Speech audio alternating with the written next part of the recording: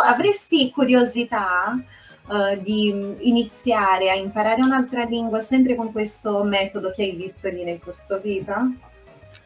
Eh, sto provando a farlo col tedesco adesso.